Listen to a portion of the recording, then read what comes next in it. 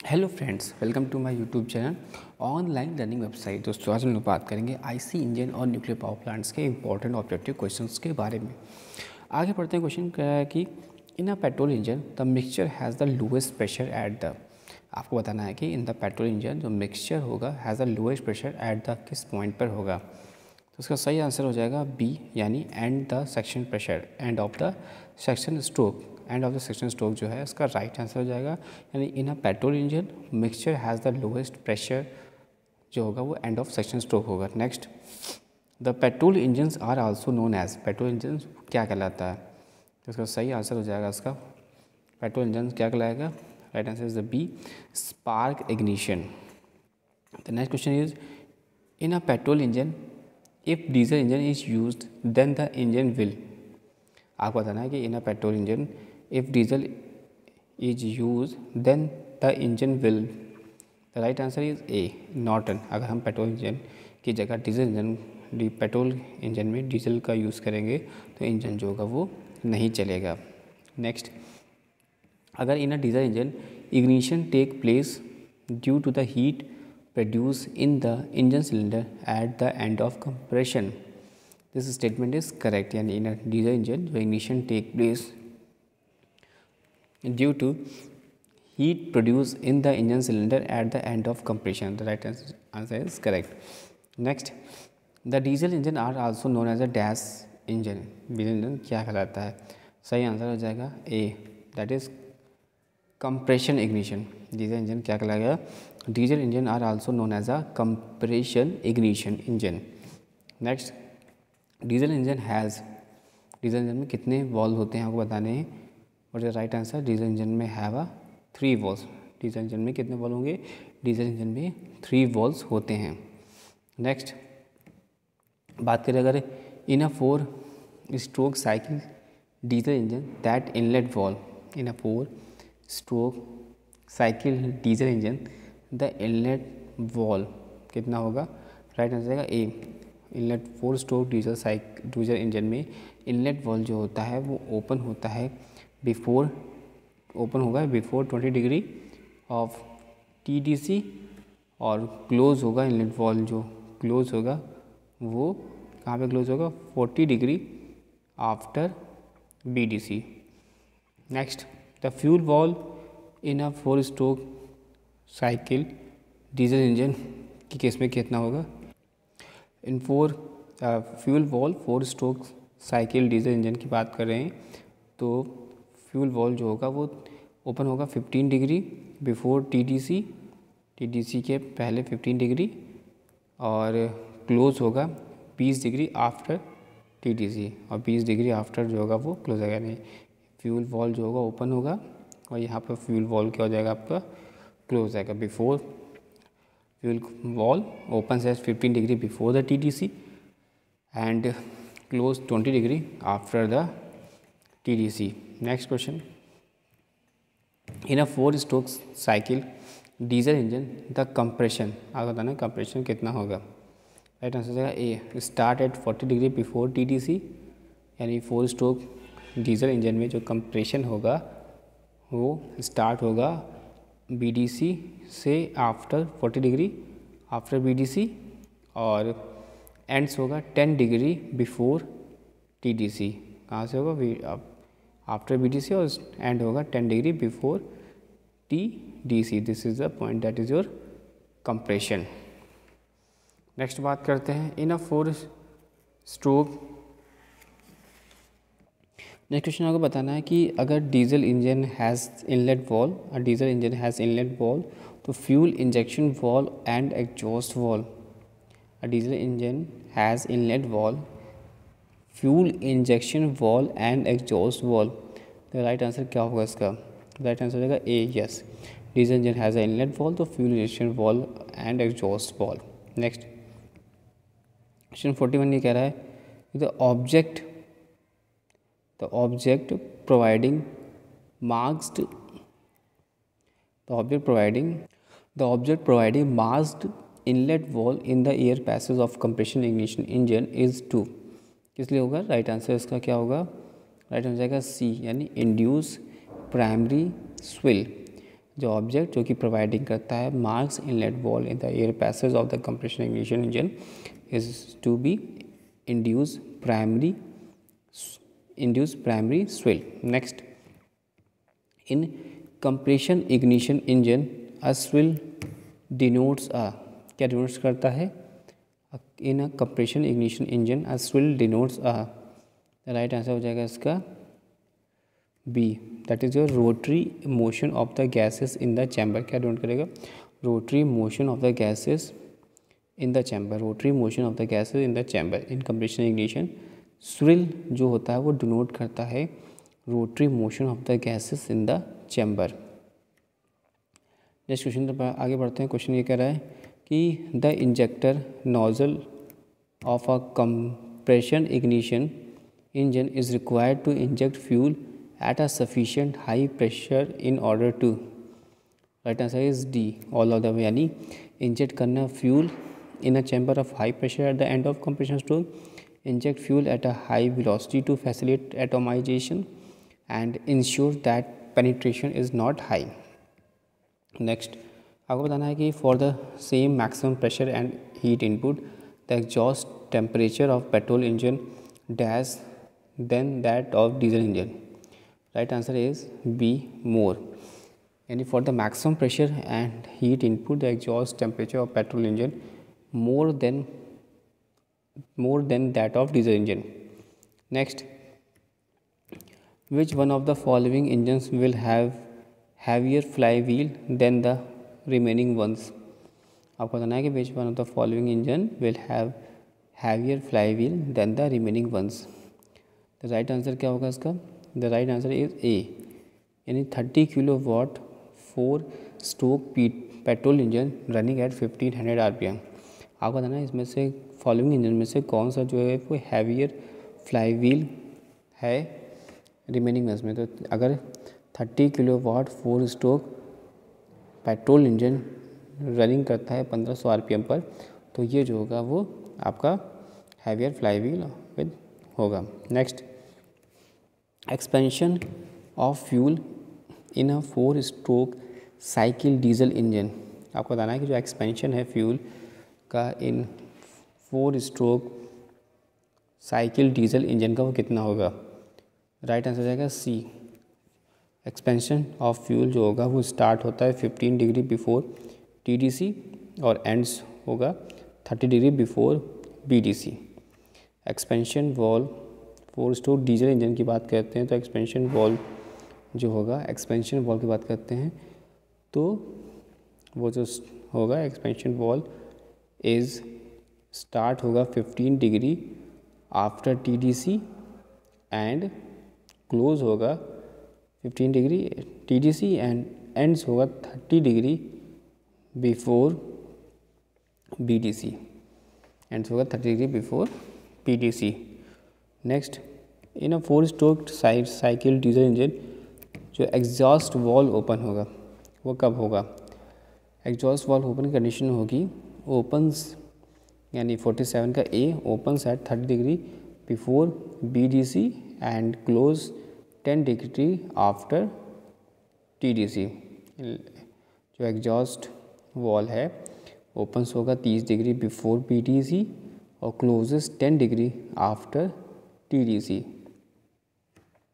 next आपको बताना है कि in diesel engine fuel is injected in the form of very fine spray into the engine cylinder which get ignited due to the high temperature of compressed air right answer is yes that statement is agree. Next आपको बताना question number forty nine question forty nine क्या कहता है? Question forty nine ये कह रहा है कि आपको बताना है कि diesel as compare to petrol diesel as compare to compare to petrol compare to petrol is क्या होगा? हाईली इग्नाइटेबल होगा मोर डिफ़िकल्ट टू इग्नाइट होगा या लेस डिफ़िकल्ट टू इग्नाइट होगा या नन ऑफ़ दीज होगा? क्या होगा? राइट आंसर इसका तो राइट आंसर इसका हो जाएगा बी यानी diesel as compare to petrol diesel as compare to petrol is more difficult to ignite यानी diesel as compare to petrol more difficult होता है इग्नाइट करने के लिए. Next if the temperature of intake air in the IC यानी internal combustion engine increase तो then efficiency will क्या होगा? अगर temperature of intake air in IC engine का वो बढ़ जाएगा तो इफिशेंसी क्या होगी? तो उसका सही आंसर हो जाएगा बी इन डिक्रीज यानी वो घटेगी। इफिशेंसी होगी, घटेगी। अगर intake in air in IC engine वो बढ़ेगा तो इफिशेंसी जो होगी वो घटेगी। नेक्स्ट जो cylinder of gas engine is made dash that of petrol engine the cylinder of gas engine is dash made is made dash that of a petrol engine वो क्या होगा? Fifty one the right answer हो जाएगा B यानी larger the cylinder of a gas engine is is made larger than the petrol engine next आपको बताना है कि अगर petrol engine is use if the petrol engine is use in diesel engine a petrol is use in a diesel engine petrol अगर का use करते हैं in diesel engine में तो क्या कंडीशन होगी?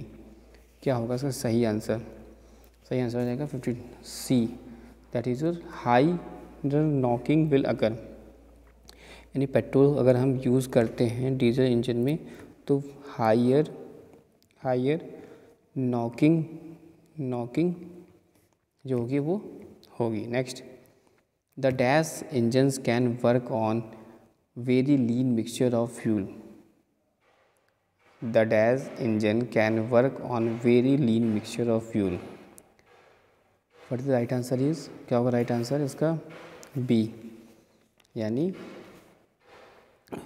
compression ignition the compression ignition engine can work on very lean mixture of fuel यानी compression ignition engine जो होता है वो कार्य करता है very lean mixture of fuel पर. Next petrol engine during suction stroke draw अगर हम पेट्रोल इंजन की बात करें petrol engine during suction stroke draws क्या होगा राइट आंसर इज़ सी यानी a mixture of petrol and air a petrol engine during suction stroke draws a mixture of petrol and air next in order to mix air and petrol in the required proportion and to supply it to the engine during section stroke, then it is employed.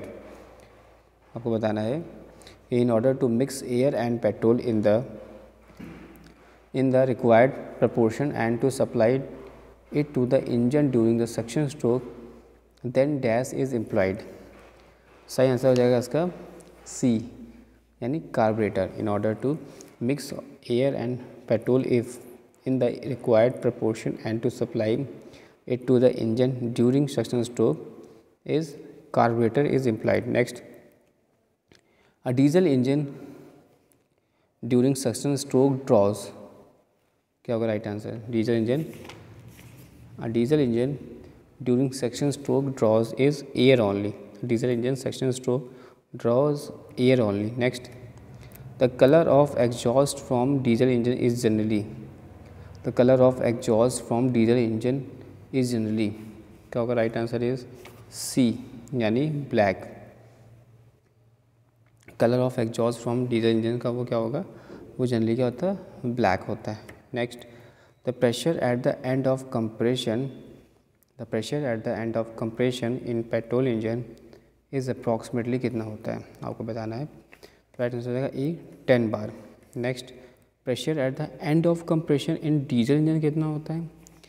इस diesel engine के case में कितना होगा? आपको बताना है। Pressure pressure at the end of compression in diesel engine तो right answer इसका हो जाएगा that is your is thirty five bar is thirty five bar यानी अगर पेट्रोल इंजन में कंप्रेशन होगा तो वो टेन बार होता है, जबकि कम डीजल इंजन में वो जो हो जाएगा वो थर्टी फाइव बार हो जाएगा। नेक्स्ट अब petrol engine has compression ratio petrol engine का कंप्रेशन रेशियो कितना होता है, ये आपको बताना है। तो पेट्रोल इंजन का कंप्रेशन रेशियो हो जाएगा सिक्स टू टेन और डीजल इंजन का कंप्रेशन रेशियो कितना होगा? आपको बताना है डीजल इंजन का कंप्रेशन रेशियो कितना होगा? तो वो हो जाएगा फिफ्टीन से ट्वेंटी फाइव पेट्रोल का सिक्स टू टेन जबकि डीजल का हो जाएगा फिफ्टीन से twenty five next the compression ratio in the petrol engine is kept low as compared to diesel engine because the higher compression ratio in petrol engine would lead to pre ignition of fuel आप इस statement से agree करते हैं या नहीं? Yes agree करते हैं statement से कि जो कंप्रेशन रेशियो होता है इन पेट्रोल इंजन का, वो kept low as compare to diesel engine because higher compression ratio in petrol engine would lead to pre ignition of fuel next आपको बताना है कि जो रनिंग कॉस्ट होता है पेट्रोल इंजन का is dash than that of diesel engine वो कितना होता है? वो होगा ए दैट इज़ हायर जो रनिंग कॉस्ट होता है पेट्रोल इंजन का, वो हायर होता है than that of diesel engine running cost जो होगा पेट्रोल इंजन का, वो हायर होगा than that of diesel engine next जो थर्मल इफिशेंसी होती है पेट्रोल इंजन की dash compare to diesel engine की वो कैसी होती है, आपको बताना है। थर्मल इफिशेंसी जो होगी पेट्रोल इंजन की, वो लेस होगी compare to diesel engine thermal efficiency of petrol engine की वो क्या होगी? लेस होगी as compare to diesel engine next the combustion in a compression ignition engine is वो क्या होगा? B that is your heterogeneous compression of compression in the combustion in compression engine is heterogeneous कैसा होगा वो? Heterogeneous होगा compression the combustion in compression ignition engine is heterogeneous next question की तरफ़ पढ़ते हैं। आगे क्वेश्चन कह रहा है कि आपको ये बताना है कि कौन सा स्टेटमेंट इसमें से रॉन्ग है? Which of the following statement is wrong that is your D यानी ये सारे स्टेटमेंट क्या हो जाएँगे? वो रॉन्ग है।